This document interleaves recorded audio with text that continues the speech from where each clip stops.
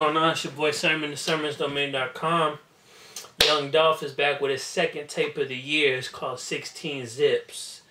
Um, Young Dolph is someone who's one of my favorites. Uh, if you follow me on Twitter at Sermons Domain, then you know that I'm a big fan. I'm always hyping him up. I was disappointed to see that he didn't make Double XL Freshman when he really, you know, he had a big hit with Preach, or big regional hit at least, and he has the following. He has the, you know, the consistency all of that. With that said, you know, he continues to be very charismatic on his records, and that's something that I always liked. I mean, he sticks to a lot of the, the same topics, you know, money, bitches, weed, lean, you know, stuff like that. But he throws in all these, like, you know, the creative lines that you just, like, that's that was dope. You gotta, you gotta give it up to him for that. Um, one of the things that I liked about 16 Zips is that he makes Zaytoven's beats interesting Zaytoven doesn't really have too much of a sound. I always feel like he was a very overrated producer, but he's utilized a lot from, you know, Atlanta artists and, you know, artists from the South like Young Dolph.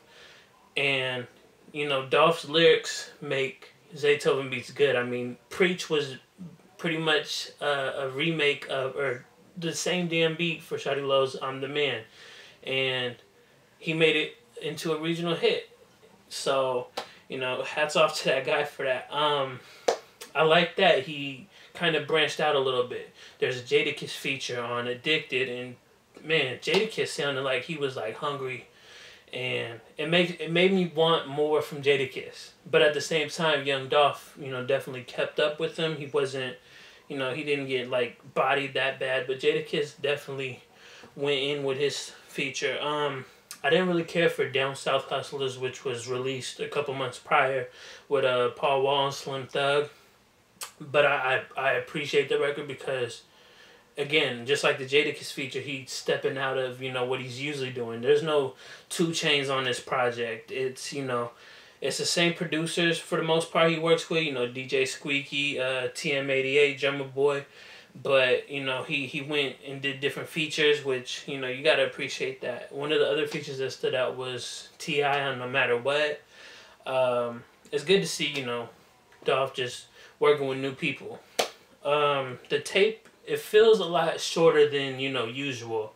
Like this is like an appetizer type tape compared to you know uh, high class street music five, and I want to see Dolph make the transition from mixtape rapper to retail. It took you know you look at someone like Gucci Mane. Gucci Mane put out so many mixtapes and you know, he put out albums too, but the mixtapes kind of overshadowed the albums, and I don't want to see that happen for Dolph. I want Dolph to next project put it on iTunes, even if it's just like a free versus you know paid type of thing. You you know just throw it on iTunes, something, cause Young Dolph, you know he, he he does shows, but he doesn't tour like he he could or he should.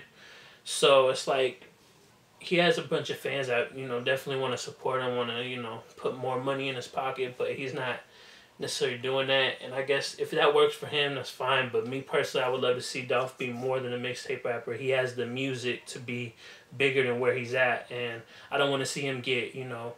Um, I don't want to see him get put into a box, get put as that mixtape rapper. Um, 16 Zips is definitely a solid body of work. I, I don't have, you know, too many complaints about it. Um, and those are my thoughts, you know, on it. Uh, I'd love to hear yours in the comment section below. Let me know what you're thinking about this mixtape. Did you appreciate, you know, Dolph working with new people? Who was your, uh, what was your favorite record? Um, and yeah, like the video, subscribe to the channel if you're not already, share the video, and follow me on Twitter at Sermons Domain.